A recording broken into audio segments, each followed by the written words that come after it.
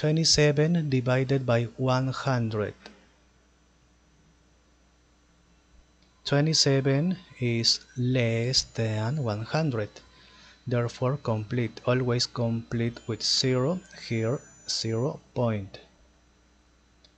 Is not less than 100. Therefore, 100 multiplied by which number is nearest to 270 but not greater multiplied by 3 is 300 therefore multiplied by 2 is 200 subtract.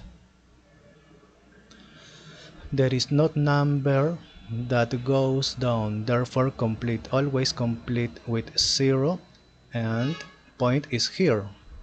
100 multiplied by which number is nearest to 700 multiplied by 7 is exact 700 subtract 0 0 therefore finish. Finish